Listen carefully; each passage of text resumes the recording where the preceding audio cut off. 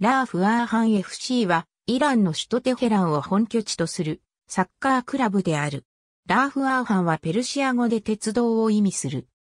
ラーフアーハン FC は、1964年に、イランイスラーム共和国鉄道によって創設された、サッカークラブであり、現在に至るまで同鉄道会社によって、クラブ運営がなされている。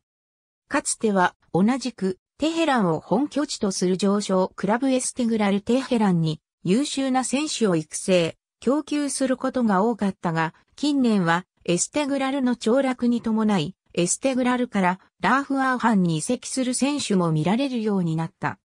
2005から2006年のシーズンで、ラーフアーハンは一部昇格を果たしたが、八百長、未登録選手の出場などの疑惑が高まり、ラーフ・アーハンのせいで一部昇格を果たせなかったクラブが、自らこそ昇格クラブにふさわしいと、リーグに訴えた。